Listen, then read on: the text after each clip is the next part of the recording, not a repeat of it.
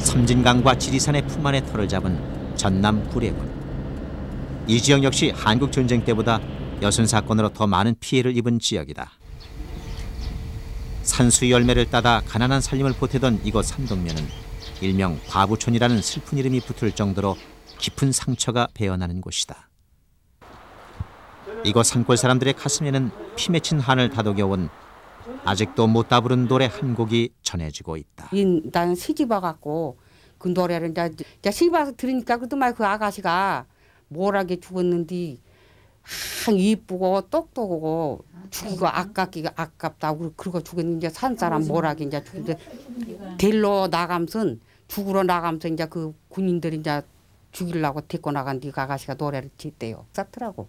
재패 갈 적에 노래가 나왔을 것이지. 예, 재피 갈 때. 죽은 무덤에 가서 노래가 나왔다고 참 재밌대서 죽었거든. 갈 길마다 눈물 지면 꽃처럼 떨어져서 노고단 골짜기에서 이름 없이 쓰러졌네. 아픔 한둘 없는 생이 어디 있을까? 여순 사건으로 오빠를 잃었다는 홍순예 씨도 끝내 노래를 맺지 그 노래 못했다. 슬프다고요. 세월의 아픔이 묻어나는 눈물을 뒤로하고 산동의 가를 지었다는 백부전의 생가를 찾았다. 그때 당시 그러니까 그 우리 아버지 형님 바로 위에 형님 중큰 아버지하고 같이 아버지 또 고모님이었던 그 부전 우리 고모님하고 같이 예, 끌려가서 어, 죽게 되었습니다. 근데 이제 우리 고모님이 자 그래도 어, 이 집안의 대를 이어갈 아들은 하나 있어야 할 거 아니냐. 그래서 차라리 예, 우리를 죽이고 나까지는 죽어도 좋으니까 오빠 막내 오빠만은 하나 살려다고 애원해가지고 예, 사실은 우리가 오늘날 여기 지금 살게 되었습니다. 천석군 살림을 자랑하던 부귀 영화는 꾸민 듯 자취를 감추고 옛 터를 지키며 근근히 살림을 이어오던 조카 며느리가 낡은 사진 한 장을 꺼내 주었다. 여기가 저희 할머니 시할머니시고요. 이분이 제일 막둥이 고모인데 산동이가를 부르신 그 고모님이세요. 그리고 이게 어, 큰따님이시고 빛바랜 사진 속에는 이제는 만날 수 없는 그리운 얼굴들이 함께 자리하고 있었다. 그 당시 반란 때 돌아가신 둘째 시아버님이고 저희 또 반란 때 고문을 당하신 일본 유학을 마치고 진영으로 끌려간 후 소식이 끊겨버린 큰오빠와의 마지막 기념사진 한 장. 경찰에 모진 고문 끝에 총살당한 둘째 오빠 백남수. 전쟁이 일어나자 북녘 땅에 발길이 묶여버린 언니 백순나. 자신을 대신해 죽은 여동생 때문에 평생을 죄책감에 살다간 막내 오빠 백남극. 그리고 본명이 백순이로 알려진 천석군 집안의 곱디고 온 막내딸 부전. 이들의 얼굴 하나하나에는 일그러진 우리 현대사의 단면이 그대로 드러나 있었다. 자신의 슬픈 처지를 노래하며 죽어간 딸을 가슴에 묻은 채 모진 생을 이어가야 했던 어머니는 질긴 이승의 끈을 놓는 순간까지 막내딸 부전의 이름을 애타게 불렀다고 한다. 저희 큰딸이 있었는데 영미가 있었는데 걔를 보고 치매가 오셨을 때는 부전아 부전하고 항상 부르셨어요. 그 안에는 이제 걔 이름을 부르셨는데 치매가 오실 그물에게 돌아가실 때는 부전아 부전하고 항상 부르셨어요. 그 할머니 막내딸 그때 반란 사건 때 돌아가신 고모님 이름을 부르시더라고요. 백부전 일가의 비극은 당시 이곳 구례군 일대 어디서나 볼 수 있었던 참상이었다. 큰 산 아래 살고 있다는 이유만으로 낮과 밤이 다른 해방구가 되어 유례 없는 사륙의 아픔을 견뎌야 했던 땅 구례.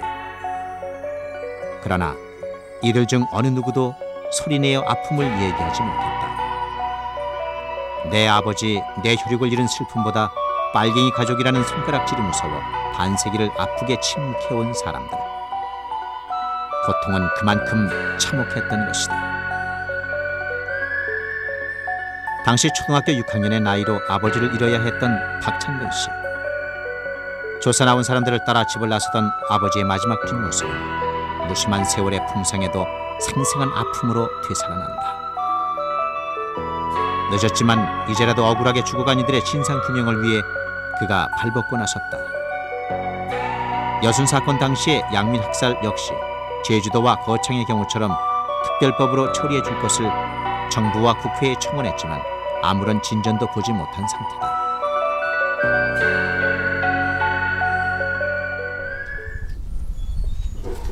청상의 나이로 홀로 되신 늙은 어머니. 귀민머리 풀어주며 평생을 기약하던 남편을 비명에 떠나보내야 했던 어머니의 멍든 가슴에는 아직도 삭혀내지 못한 아픔이 그대로 묻어난다. 아, 나 서른 살 먹어서 그랬어. 그 사람 서른한 살 먹고 저 오십, 팔십 너이라 내가. 억울이기만 해. 그놈들 다 되겠을 거요. 생사람 되다 죽이신 게 다 되죠. 여순 사건을 일으킨 주력 부대의 마지막 거점지였던 구례 지역에서는 빨치산이 완전 진압될 때까지 지속적이고 광범위한 부역자 sak출이 계속됐다. 그해 11월 18일 단 하루 동안에 구례 경찰서에서 총살된 민간인 수만 해도 72명. 시체는 다음 날 공성산 기슭에 묻혔다. 당시에 참혹했던 상황을 숨죽여 지켜볼 수밖에 없었던 유족과 마을 사람들의 생생한 증언으로 구례군 전 지역에서 희생자가 발생했음을 알 수 있다. 이곳 사람들은 미리 리스트를 작성해 놓은 진압군에 끌려가 부인하면 맞아 죽고 시인하면 총살당하는 살벌한 분위기 속에서 그 모진 자, 겨울을 보내야 했다. 어, 산으로 그 들어간 유격대와 이들을 소탕하기 위한 토벌대와의 싸움에 쯤 무고한 민초들의 처절한 이제, 삶이 어, 있었던 것이다. 금방 문지방 위에다가 아, 태극기하고 인공기를 같이 놓고 살았었다고 그럽니다. 그것은 이제 그 사람들이 와서 국기 내놓으시오 이럴 때에 에, 이제 상대방이 어느 편인가 누군가를 감호에 의해서 판명해 가지고 이제 국군이라고 생각이 되면은 태극기 이제 선사람이라고 생각이 되면 인공기를 내야 되는데 낮과 밤을 다르게 살 수밖에 없었던 산아래 사람들. 이들의 입에서 입으로 흘러나온 노래가 바로 산동해가였다. 열아홉 처녀가 경찰에 끌려가며 불렀다는 이 노래는 아무도 울어주지 않는 지리산 아래 사람들의 상처를 말없이 다독여 왔다. 노고단 골짜기에 이름 없이 쓰러져간 원혼의 넋은 아직도 못 다 부른 노래로 기억되고 있다. 제그 어렸을 때도 모임을 가지고 이렇게 하게 되면 반드시 그 산동해가 주인공 얘기가 나와가지고 그렇게 열아홉 살에 예, 나이도 열아홉 살에 이제 이 결혼도 못 해가고 그 이제 꽃이 노래에 나오듯이 그 꽃봉오리가 피기 전에 이 죽어갔다는 그런 내용으로 해가지고 그 노래를 많이 불렀었습니다.